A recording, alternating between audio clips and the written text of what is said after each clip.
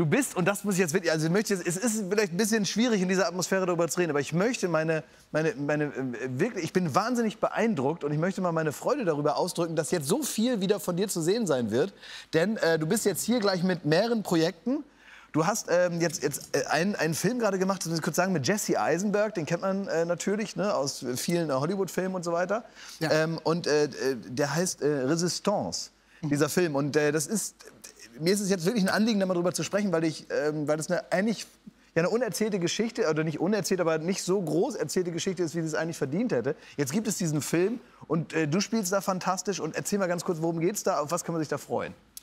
Also in dem Film geht es eigentlich, ich wusste, es, es, gibt, äh, wer, also es gibt den Pantomim Marcel Marceau, es gab ihn. Ja. Und äh, ich kannte Marcel Marceau nur damals äh, Schauspielschule. Ich war auf der Schauspielschule, ich hatte Pantomime-Kurs, Freitagnachmittag. Marcel Marceau. Tun, als wenn man in einem Raum ist, der nicht da ist. Ne, Ne? genau. Weißes Gesicht, So. gestreiftes Hemd. Genau. So. Aber Ja. äh, er war sozusagen der Beste seiner Zunft. Ne? Mhm, Und ähm, ich wusste aber nicht, dass der, als er jünger war, in Lyon beim Widerstand gekämpft hat im Zweiten Weltkrieg gegen die Nazis und äh, ganz, ganz viele jüdische Waisenkinder gerettet hat, indem er sie versucht hat, in die Schweiz zu bringen. ja. Und äh, damals gab es in äh, Lyon ein, äh, einen Mann, der hieß Klaus Barbie, den ich spiele, äh, der sozusagen von Hitler angesetzt wurde, den Widerstand in Lyon zu brechen. Ja. Und es geht genau um diese Geschichte, wie Marcel Marceau versucht, diese Kinder zu retten. Also ich muss wirklich sagen, eine, eine, eine Geschichte, die, ja, die, die, die kennt man, die weiß man, wenn man sich damit auseinandersetzt, aber so in dieser Form und dieser Größe noch nie. Und ich muss sagen, ähm, man hat ja irgendwie gefühlt, habe ich irgendwie lang, lang, lange nichts mehr gesehen von dir, weil du die ganze Zeit irgendwas gedreht hast. Ne? Du warst halt weg und hast, hast, hast, wir werden auch noch über was anderes heute sogar sprechen. Ja. Und ähm, ich habe Ja? letztens gehört, du hast gesagt, in zehn Jahren willst du einen Oscar haben. Hast du irgendwo gesagt, in zehn Jahren. Ich habe so gelernt, so, äh, Ja. dass man sich so ein Ziel setzen muss. Wenn man jetzt sagt, ich hätte gerne irgendwann mal einen Oscar, da- das ist so ein unkonkretes Ziel. Aber genauso wie man sagt, ich laufe jetzt einen Halbmarathon. Oder, Ja, äh, genau. ich, äh, Ja. ne, oder ich nehme, ich nehme 100 Kilo ab. Oder äh, äh, ich äh, sch schreibe jetzt mein eigenes Buch. Und Ja, sei ja. es nur 20 Seiten und zwar in einem Jahr. Und da habe ich mir gesagt, okay, mit in 10 Jahren, dann bin ich 50. Ja. Äh, was krass ist, dass ich in 10 Jahren 50 bin. Ich sag's nur mal. Äh, äh, ähm, äh, ich, auch wir, man muss also, wir kennen uns ja alle noch, da waren wir, also es war fast Kinderarbeit, was wir da gemacht haben. Ne? Muss man sagen. Ja, genau.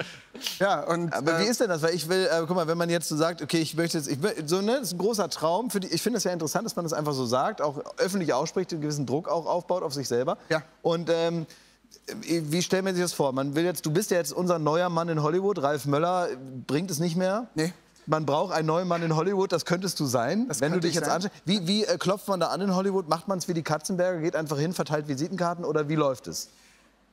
also es hat, also man, ja, also oder man kommt nackt zum Casting. Ja. Und dann, und dann redet man auch, nee, äh, das war wirklich, äh, äh, ich habe einen sehr guten Agenten drüben in Amerika, der mir sehr viel hilft. Ja. Und ähm, ja, es ist ähnlich wie hier. Man fängt so von null wieder an. Man, es kennt einen da drüben keiner. Das ist irgendwie cool. Das, ist, äh, das macht total Spaß. Und äh, ähm, man muss wirklich Klinken putzen. Auch wieder so: Hallo, mein Name ist Matthias. Ja. Äh, sorry, what, what the fuck is your last name? Ja. Schweizer- Schweizerhofer? Schweinerhofer? Ja. Yes. Uh, say Matthias. Uh, and, uh, oh, sorry. Jetzt, Mhm. Ich rede zurzeit wirklich jeden Tag Englisch und äh, es ist gar nicht so, ist wirklich, ich rede jeden Tag Englisch. Ab 18 Uhr geht's los. Ja. Und äh, dann kommt wie so ein Tick. Ab 18 Uhr, egal. Auf jeden Fall. auf, dieser eine Schluck, ich habe lange keinen Alkohol getrunken. Es ist wirklich witzig, ne, was das mit dir macht. Geht ne? jetzt schon wieder los, Komm, wir noch verdammte nach hier. Komm. Das ist Äh, wir, ähm, wir, wir ähm, äh, wie gesagt, haben, Danke, haben später auch noch die Gelegenheit, über ein, ein weiteres Projekt zu sprechen. Ich möchte gerne noch mal, möchte gerne noch, das ist wie diese, Mm. diese Challenge, wo man, da, ähm, wo man praktisch oben abtrinkt, wenn man die Mentos schon reingeschmissen hat. Ähm, was ich äh, möchte, ich möchte gerne noch mal einen Ausschnitt zeigen aus diesem Film, äh, Ja. von dem du gerade gesprochen hast. Resistance heißt er. Ähm, die wirklich die, die Heldentat von äh, Marcel Marceau. Ähm, was er da gemacht hat, wie er das gemacht hat und äh, wie das alles aussieht, äh, zusammen mit Jesse Eisenberg. Hier sehen wir noch mal Matthias Schweighöfer in Resistance. Zeigen Sie mir Ihre Hosentaschen. Zeigen Sie sie mir. Ist nur ein Löffel. Hier Geld. Was ist das? Ein Bart? Sie machen Scherze über den Führer. Nein, bei allem Respekt, Herr Offizier. Das ist ein Charlie Chaplin Bart. Ich glaube, es ist wichtig für die Kinder, dass sie in diesem, diesem Krieg was zu lachen haben.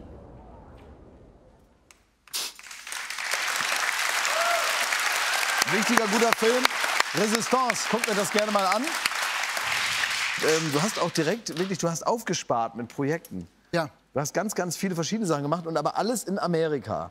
Alles komplett in Amerika. Und ich finde, da ist ein gewisser Druck, der da auf dir lastet. Wenn du jetzt, Inwiefern? Inwiefern ist da- Inwiefern ist da Druck? na, weil du bist ja so eine Art Außenminister jetzt für uns. Du musst ja irgendwie, wir haben jetzt nicht so ein gutes Image in der Welt draußen. Ja? Gerade in Amerika gelten wir jetzt nicht als die super witzigen Typen und so weiter. Und du musst jetzt irgendwie mit dem, was du da machst und wie du dich da verhältst, musst du letztendlich auch einen guten Eindruck für uns dahinter lassen. Das, und das werde ich tun, mein Lieber. Ja, du hast jetzt Army of Thieves. Das ist ähm, ein Film, der auf Netflix laufen wird, Ja. aber ziemlich fett und groß alles. Äh, Zack Snyder hat das äh, mit dir gemeinsam gemacht. Oder erzähl mal ganz kurz, wie ist das da zusammengekommen? Was, was genau ist das für ein Projekt? Was Army of äh, Thieves angeht, äh, ich, das, für mich ist das so ein bisschen so ein Ding, weil ähm, ich habe mir gedacht, ey, es ist ein internationaler Film, es ist, wir reden ja, nur. Englisch und so, ist klar. Und ähm, äh, ich, ich würde das gerne, also wenn wir das Interview darüber machen wollen, würde ich jetzt gerne äh, eher das Interview auf Englisch äh, wechseln, dass ich auf, auf Englisch ähm, weiterrede und ähm, dann, ja, okay. Okay, okay. okay, great. Okay. Ja. Let's go. Okay, Ja. what do you want to know? Was möchtest du wissen? Yes. Okay, ähm, also Arm- Army of Thieves ist ein, ähm, ja, finde ich erstmal spannendes Projekt und äh, mich interessiert natürlich, auf was können wir uns da freuen? Was spielst du da und äh, was ist das für eine Art von Projekt, äh, Matthias? That's a great question. Das Thank ist eine sehr gute Frage. Danke sehr. Yeah, Army of Thieves is the prequel to Zack Army of Thieves uh, ist das Prequel of the Dead. zu Army of the Dead von Zack Snyder. And uh, I'm playing a safe cracker Und ich named spiele Ludwig einen Dieter. ähm. Safe-Knacker Ludwig, namens Ludwig Dieter. Ludwig, Ludwig Dieter. ist auf Deutsch And, uh, natürlich schwer auszusprechen. okay. Uh, okay, I can do this. Come on, you can Okay, do ich this, Matthias. hier nicht. Schaff das, Matthias. Yeah, and you know, um, my dear old friend Also Klaas, mein um, it's lieber a, guter Freund it's a fantastic, Klaas. it's an action-driven Das ist ein movie with Film romantic über einen elements, a Raub mit sehr viel Action, romantische Elemente, tolle? Schauspieler. Schöner Film, witzig. Und dieses ist so eine richtige Wetten-Das-Stimmung hier, ne? Ja. Ja. Ey, du musst ja gleich, das ist eine richtige Wetten-Das-Stimmung hier, ne? Gleich muss noch irgendeiner mit dem Bagger seine Frau ausziehen. äh, irgendwie so ein Norbert aus Pforzheim. Und am Ende, das ist sehr gut. Und da musst du natürlich zum Jet, weil du irgendwie direkt weiter musst, wieder nach Klaas, Hause das nach L.A. versteht Ne? Matthias jetzt Sorry, can you repeat Wieso? Wir haben noch einen Übersetzer. Ja, stimmt, es wird Ja, übersetzt, ja, ja. ja, guten Morgen. So, natürlich funktioniert das. Du kriegst alles mit, ne? Plane, yeah. Ja, ja, Flugzeug. Genau. Das ist, äh, finde ich, auch persönlich interessant. Jetzt musst du die ganze Zeit, du bist ja wirklich, du bist eigentlich von der Persönlichkeit her eigentlich nicht gemacht für eine internationale Karriere, weil du Flugzeuge hast und enorme Flugangst hast. Wie machst du das denn?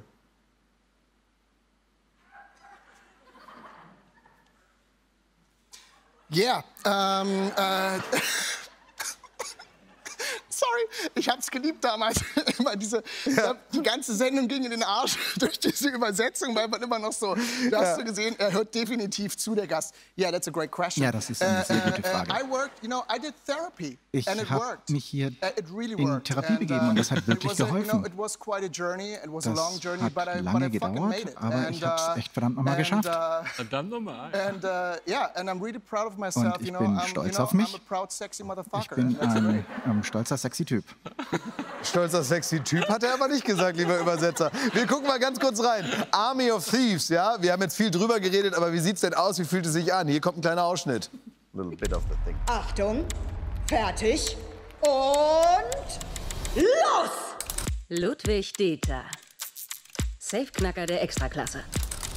Und es ist entschieden, wir haben einen Gewinner!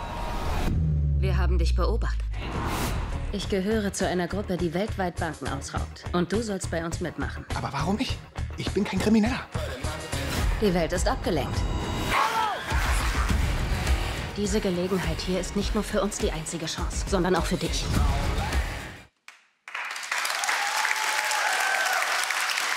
You. Wie ist das, wenn man sich selber synchronisiert?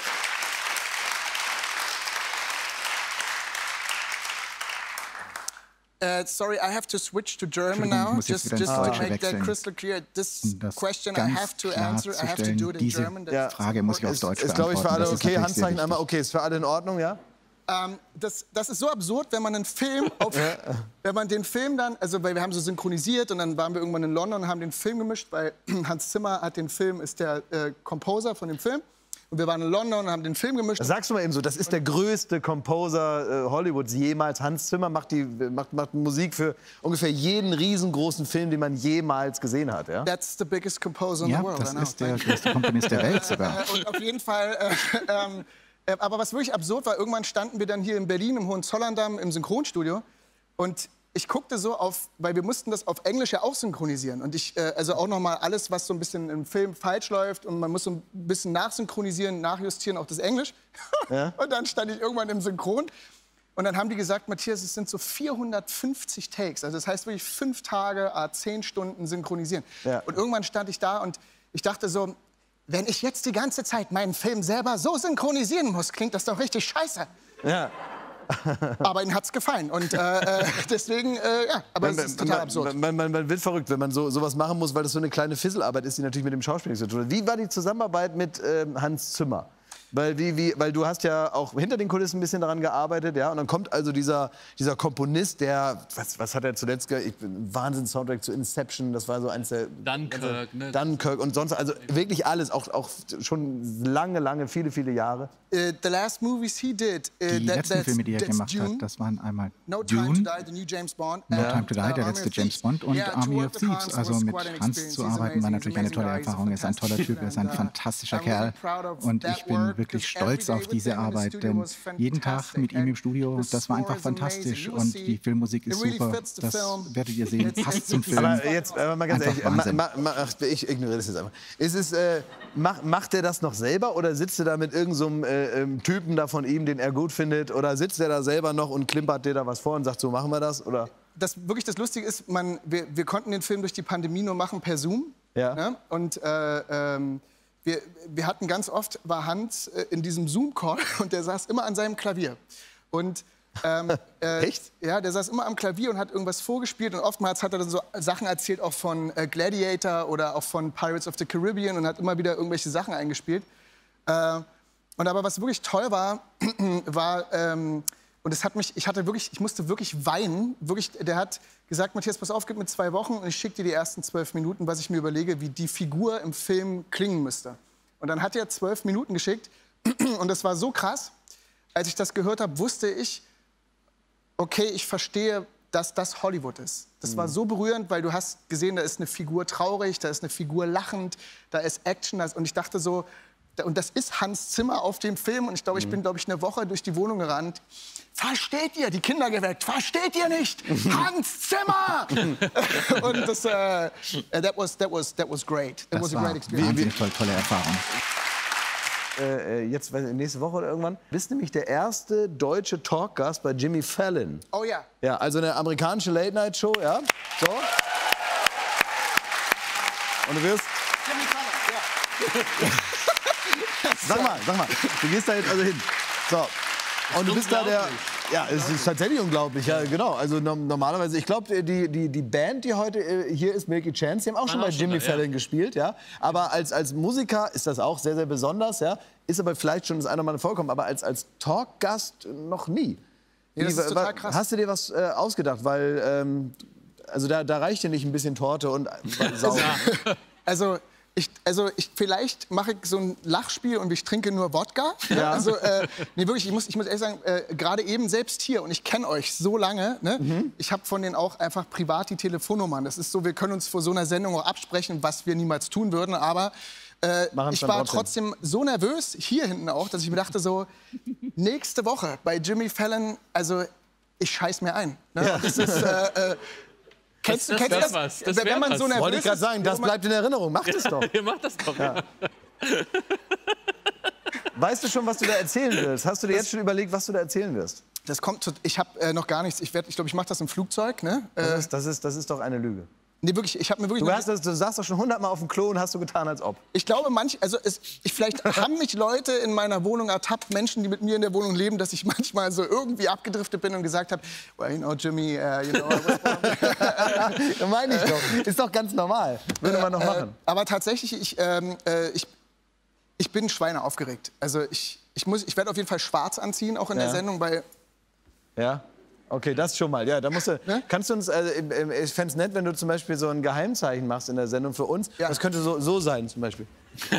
Könntest du so einmal so geheim nur machen und wenn du praktisch so machst, weiß ich, dass das so ein Geheimzeichen war für mich. aber die, vielleicht nicht, dass die Amerikaner irritiert sind, vielleicht könnte ich auch einfach nur so machen.